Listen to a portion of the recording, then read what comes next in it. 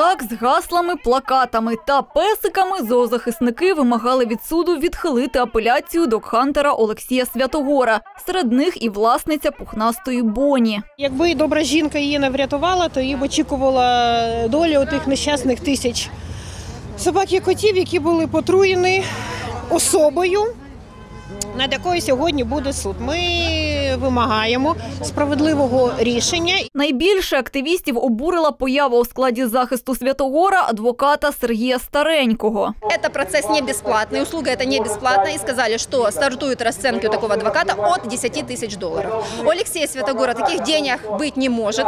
Выгодно местным властям, которые не хотят э, заниматься проблемами бездомных животных, а хотят пилить бюджет и деребанить его по карманам. Прийшов до суду і прихильник Святогора, який має свою версію щодо арешту підозрюваного та резонансності справи. Это было сделано только из-за того, что он пошел бесплатным адвокатом э, секретарю Коцюбинской селищной рады, который не побоялся противостоять забудовникам Коцюбинского.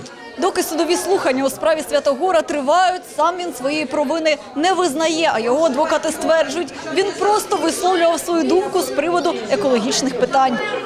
Сторона захисту апелювала до того, що Олексія Святогора затримали не за криваву розправу, а за поширення інформації про жорстоке поводження з тваринами. Об'єктивна сторона інкримінованого йому е, кримінального правопорушення полягає у тому, що він давав інтерв'ю різним засобам масової інфор- інформації, телебачення та радіо, які у свою чергу випускали в ефір відповідні теле та радіопрограми, які включали у себе інтерв'ю Святогора. За таких умов Святогор не є суб'єктом даного кримінального правопорушення.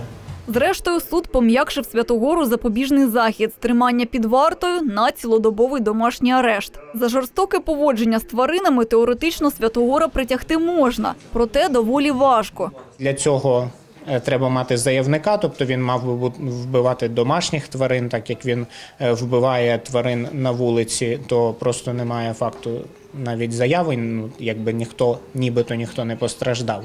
От, звичайно, Е, до того ж, довести ці факти буде важче. Берется кусочек ливерной колбасы, помещается 10 таблеток по 0,3 грамма и э, кормится из руки в пасть. То есть покормили, ну пошли дальше. За два часа у собаки наступает здоровый крепкий сон, из которого она не выходит.